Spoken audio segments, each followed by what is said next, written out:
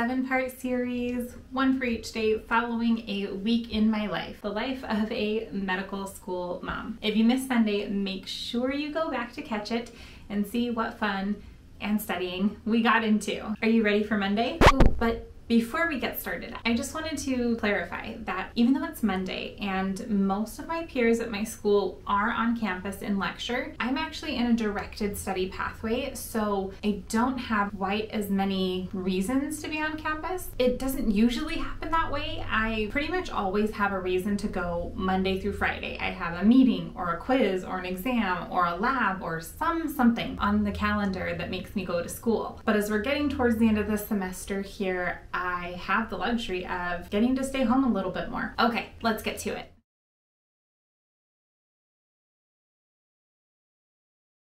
Seven forty-three, and let's be honest, I didn't have it in me this morning to get out of bed before my daughter. Good morning. And now that she's awake, I'm still not really feeling it. Even though it's Monday, I get to study from home today, so I think I'll just rebraid my hair so that it looks a little less like a matted dog.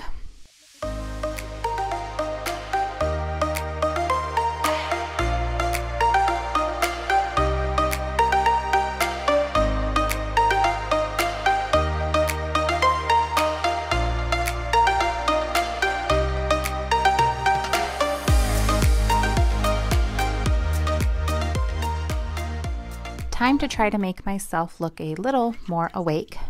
I guess I do something different with my makeup every day. Whatever works.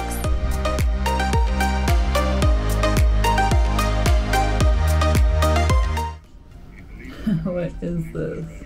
Every single time I put mascara on without fail. Huh. Anyone here?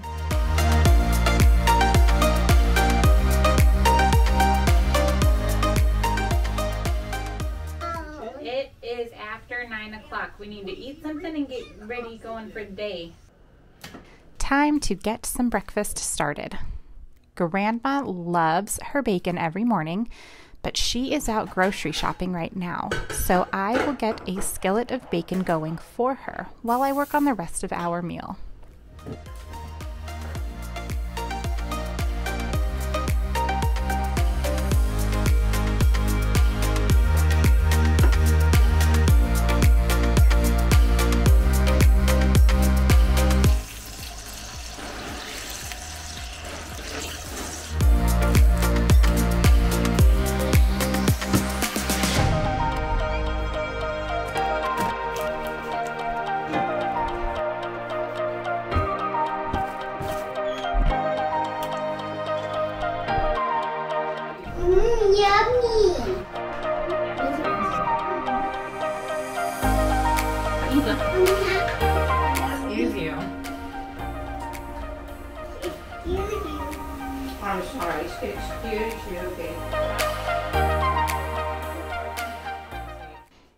Can't forget to fill up that 40 ounce of apple juice flavored water.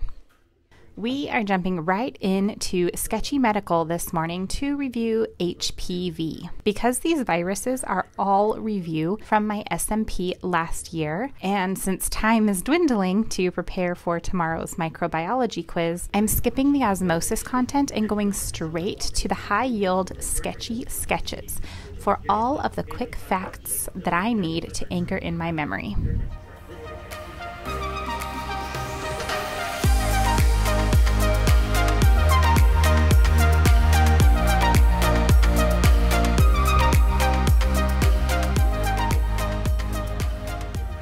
reviewed, and let's do a little quiz to test the retention and comprehension. Sketchy quizzes really are awesome for testing your application of key concepts.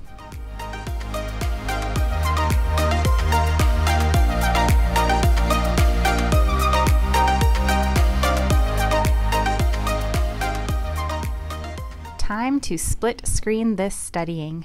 I really miss having multiple monitors. If only I hadn't broken my second one yesterday. Anywho, we were just notified that a set of practice questions were made available to my class So I'm going to pause my reviewing to work on these. Practice questions are really the best way to assess your competence. So any chance you have to get your hands on some, especially from the writers of your exams, always make the time to test yourself. So, with Anki on the left and my class document on the right, I'm going to copy and paste the practice problems into flashcards as I study them. I bold the parts of the question to focus on, do a little formatting, and then add the answer choices to a cloze deletion so that it works like a multiple choice flashcard later. I'm going to add a few descriptive tags before finishing the card. A lot of material overlaps across courses, and I end up pulling from previous decks into new decks, so tags help me to keep things straight through all of the movement.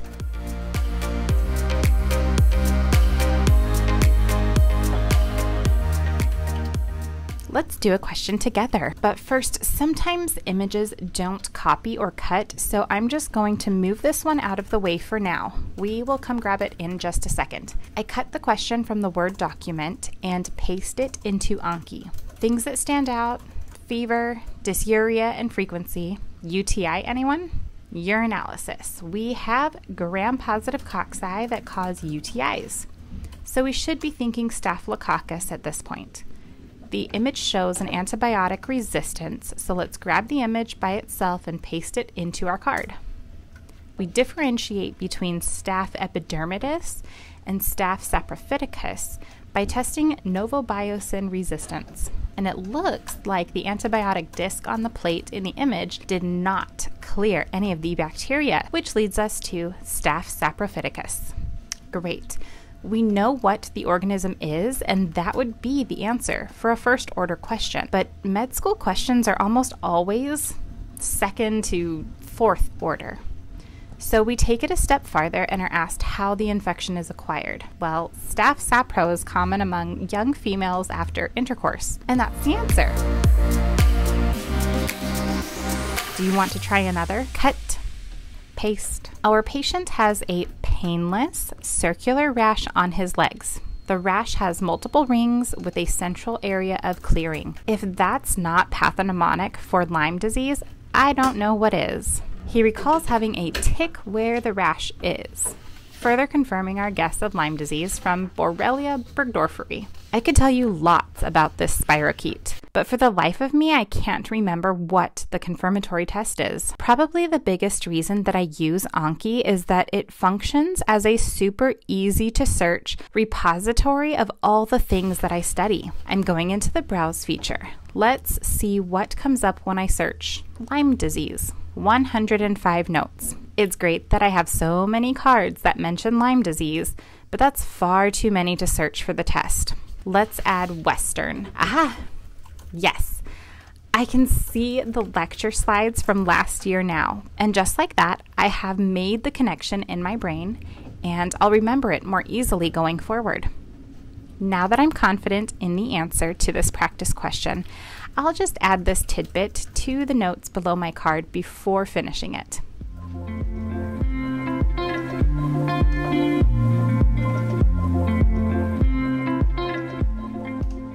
Almost done. One more question. This time we have a neonate.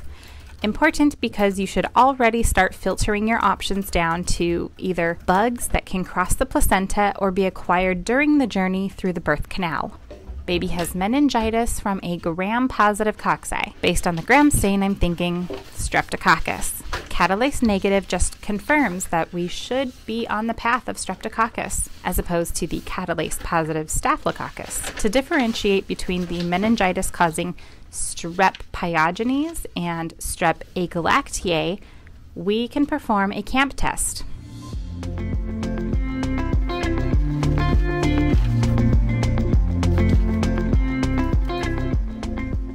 Knocking? Knocking. Knocking. There. No. Knock a door. Knock door. Did, knock a door.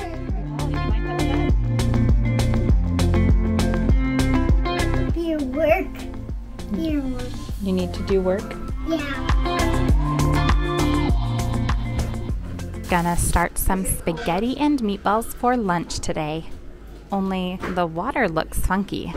Let's try this again. Still looks the same in a different dish. Like, that's so weird. I mean, I feel like I've boiled enough water in my several decades. I guess it does clear up, so we're gonna roll with it. Do you want spaghetti? No. Do you want meatballs? How did my daughter make it a late lunch hour and not have her beautiful hair done? Mommy fail. But we are going to fix this now so that I don't just stand around watching water boil.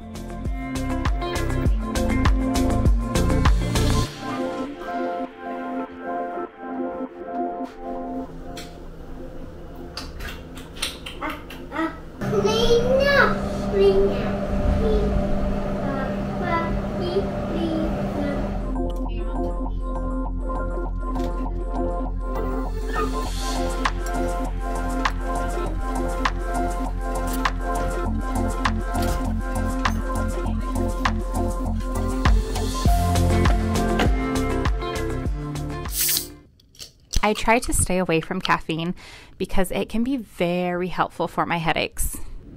The wind is really picking up out there. It sounds so eerie.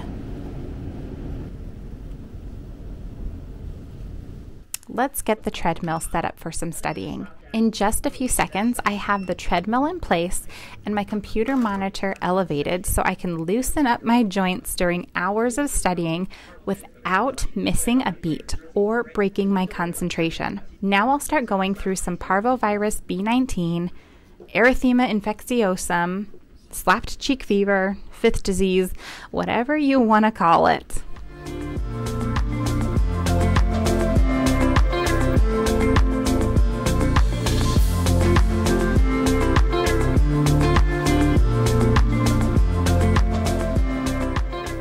Moving right along into the pox viruses.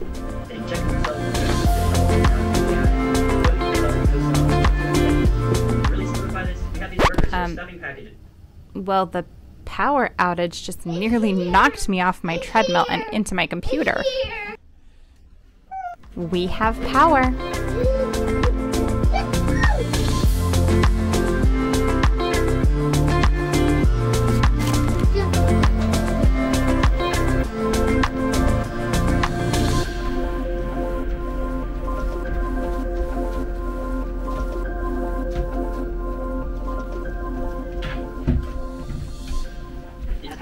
Are making good time to finish up reviewing all of the organisms for microbiology today. I should be able to use a few hours today to dive into some OPP for a large exam I have on Thursday. I'm feeling positive.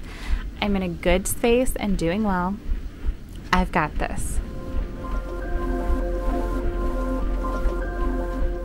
Hold up. I just got a school email. Looks like we have an oral exam in microbiology tomorrow. That means we are going to forget about OPP for today since I need to make sure I can articulate the mechanisms for a list of 10 toxins. With this kind of news, I'm sure that my class is discussing in our chat. Wow. A speedy handful of my peers have already started pulling together all the details we need for our oral exams tomorrow. Let's see what they have and what I can contribute.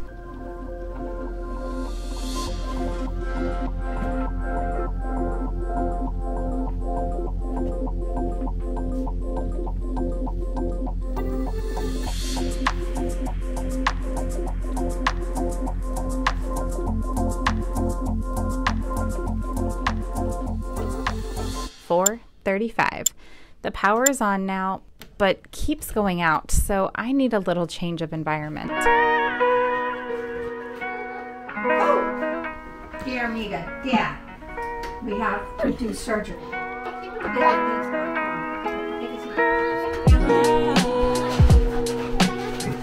Hi, Violet.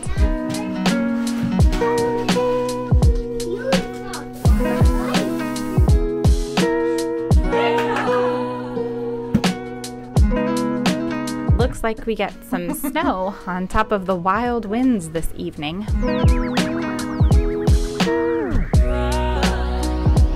Merry Christmas. The power went out at least 13 times. I started to lose count. I'm going to get back to studying and see how much I can pack in before we really lose power. I'm going to swing over to osmosis now to focus on the 10 toxins I need to master for the oral exam tomorrow. I really need to get a good understanding of what the toxins do, so this is a better resource for this foundational learning.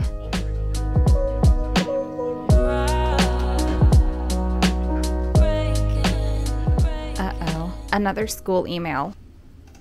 Ah, voting for internal medicine club officials. I'll take two minutes to check out the candidates and cast my votes for them.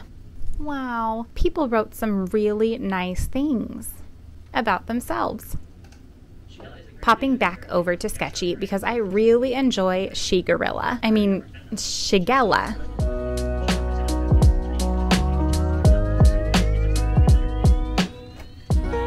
Time must fly when you're having fun because it's nearly 7 o'clock now. Shoes. That must mean Grandma is upstairs with Justice. Do you want to go take a bath?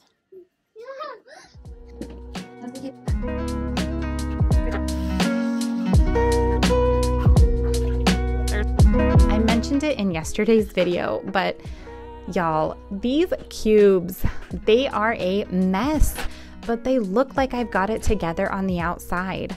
Story of my life, right? It kind of smelled me. So I should probably take a shower.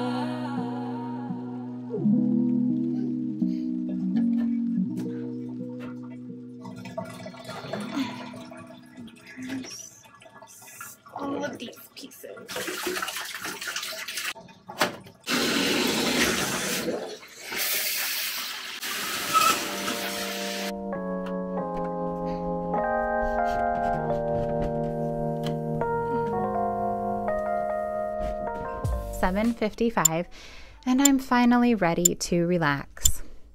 But it isn't until 9 o'clock that Justice finally gives in to her sweet dreams.